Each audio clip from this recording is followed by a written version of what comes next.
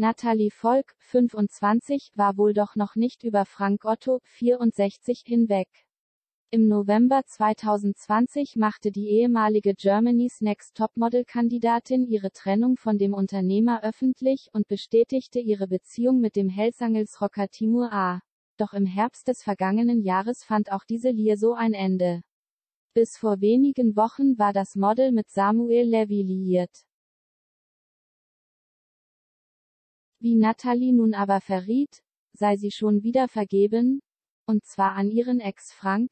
Im Interview mit Bild teilte die Influencerin mit, wie es dazu kam.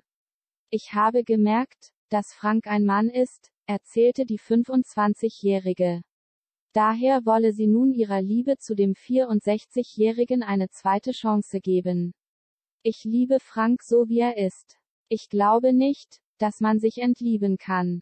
Wir passen einfach zusammen. Er steht immer an meiner Seite. Betonte sie zudem. Derzeit befindet sich Natalie bei Frank und ihrer Mutter. Meine ganzen Sachen haben auch nie die Hamburger Villa verlassen, gestand sie. Zurück in die Hansestadt ziehen, wolle sie jedoch nicht. Ich bin gerade dabei, meine Karriere in den USA aufzunehmen. Ich fühle mich dort zu Hause und dort ist auch mein Lebensmittelpunkt, erklärte die Beauty.